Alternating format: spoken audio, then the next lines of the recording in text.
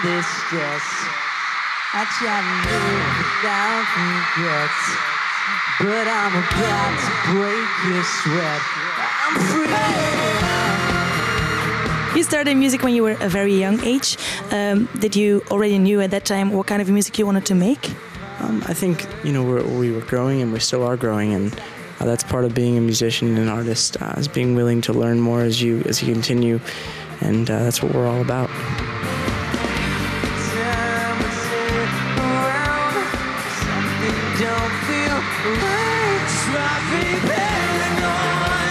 Were you not too much influenced by um, management and? Uh, No, we definitely went on the journey musically that we wanted to go on. Um, no one, you know, introduced us or to who we are as a band. We, you know, really found ourselves. You know, it took some time. You know, we released a record that was, you know, maybe an introduction. We had different sounds, and then we really we grew. The Jonas Brothers record really, you know, I think really put a staple as to who we wanted to be, and that's why we called it Jonas Brothers. And it's the second album, you know. And then I think a little bit longer was the one that really made us um, aware of who we were as a band. It was really great.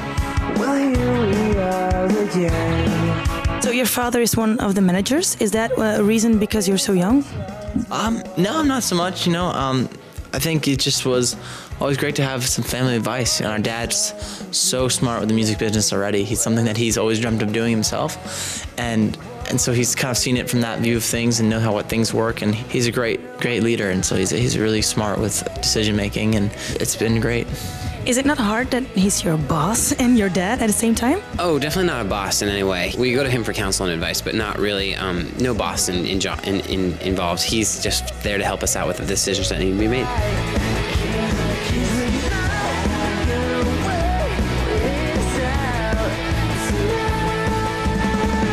So what can we expect in the future from the Jonas Brothers?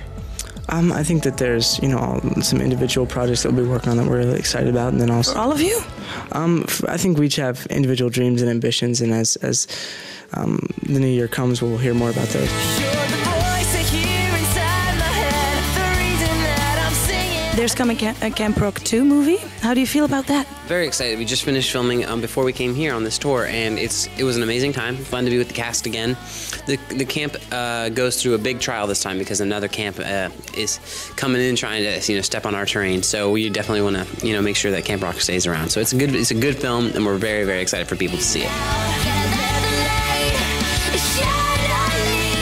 I heard you coughing. First thing we do with the dump. Are you not uh, scared to have the Mexican flu? Oh no, I, I actually just got over being a little bit sick, and so I'm good now. But just it's the the tail end of it all. But I'm good.